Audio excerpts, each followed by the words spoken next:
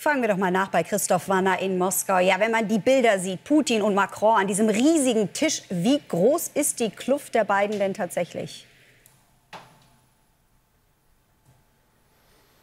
Na, ich denke gar nicht zu groß und äh, die persönliche Chemie zwischen Macron und Putin scheint äh, tatsächlich zu stimmen und ich muss da wirklich sagen, dass äh, Frankreich äh, in den Augen Russlands doch eine bedeutende Rolle einnimmt und gerade nach dem Ausscheiden von Angela Merkel aus dem Kanzleramt wohl der wichtigste Player geworden ist für Russland ähm, in Europa.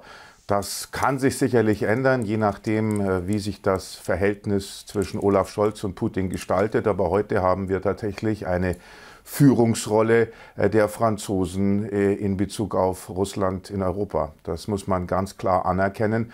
Macron hat ja auch mit Putin im Vorfeld dieses persönlichen Treffens mehrfach telefoniert und er wird hier von dem russischen Präsidenten als ehrlicher und relevanter Vermittler wahrgenommen. Äh, gestern haben wir jetzt ja schon mehrmals gehört, wurde fünf Stunden lang verhandelt und äh, Macron sagt, der Weg für Diplomatie sei offen und ich denke, dass das Wladimir Putin auch so sieht.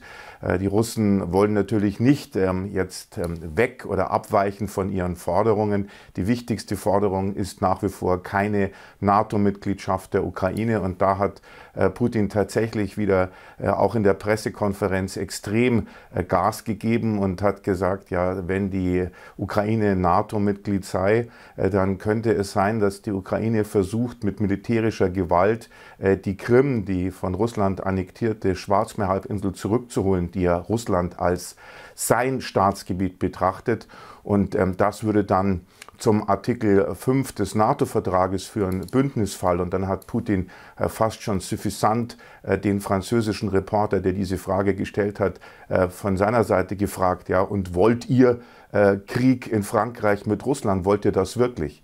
Also die Tonalität ist bei Putin sehr unterschiedlich. Auf der einen Seite versöhnlich in Bezug auf Macron, den er schätzt, auf der anderen Seite doch sehr rigide, wenn es um seine Forderungen geht. Aber ich denke, es ist Platz für Diplomatie und natürlich kommt es jetzt auf die USA an, weil Macron natürlich ohne die Amerikaner sowieso nichts entscheiden kann.